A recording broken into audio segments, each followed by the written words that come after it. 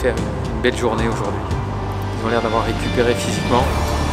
C'est une bonne chose. J'ai discuté ce matin avec Arthur qui, avait les jambes un peu lourdes hier soir. Il s'est fait masser et tout, donc tout a l'air d'aller très bien.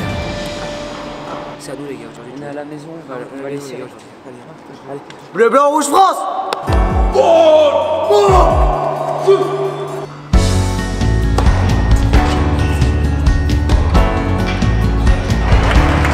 Allez, dedans, gros. Allez, allez, allez.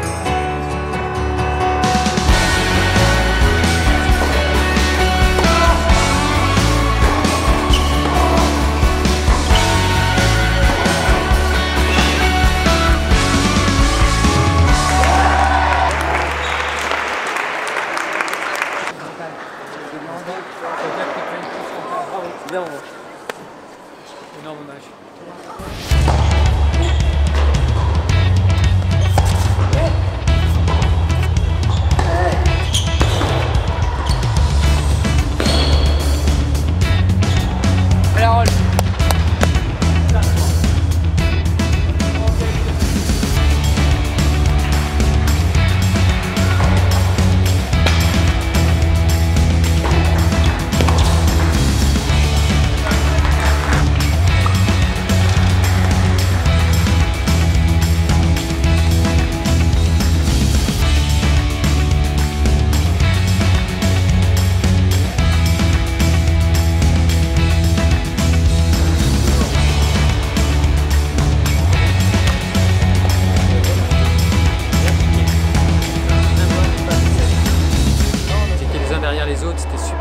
On a eu un match accroché avec, avec euh, Arthur.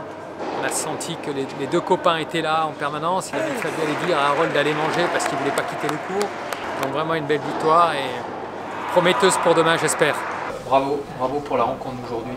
Euh, belle rencontre parce que mine de rien, on a joué des gars pas faciles, comme tu le disais dans la voiture. Hier, je revenais un petit peu sur des petites choses qui m'avaient fait l'améliorer sur l'esprit d'équipe. Voilà, donc les joueurs derrière, encourager, je pense que c'est quand même un plus. C'est toujours un plus pour celui qui est en train d'emballer sur le terrain. Demain, il faut l'aborder comme ça.